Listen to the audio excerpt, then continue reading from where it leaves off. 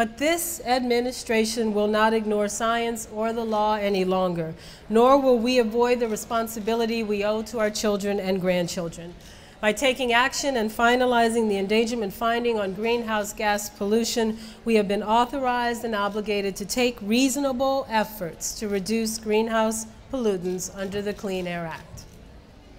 This long overdue finding cements 2009's place in history as the year when the United States government began seriously addressing the challenges of greenhouse gas pollution and seizing the opportunities of clean energy reform.